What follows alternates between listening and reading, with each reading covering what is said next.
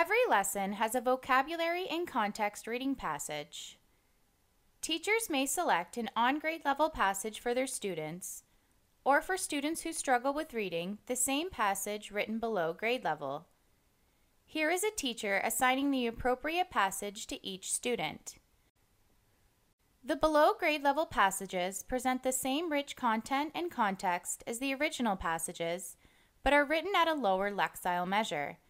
The only real difference is the relative readability of the sentences.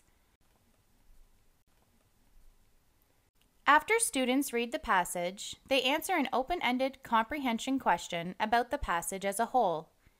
Responding to this open-ended question allows students to demonstrate their overall comprehension of the content. Students submit their responses to the teacher. Teachers can view written responses in order to assess understanding and make comments to individual students.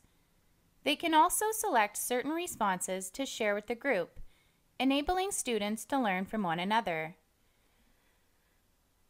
After they have written in the response to the text, students complete additional comprehension questions that focus on individual words and their meanings.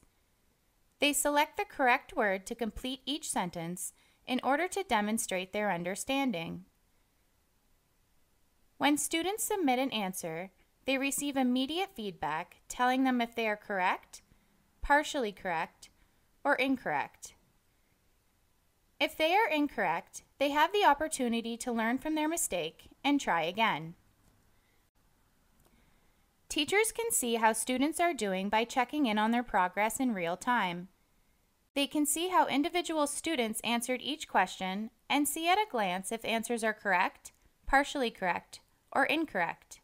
All students answer the same comprehension questions, whether they read the below grade level or on grade level passage.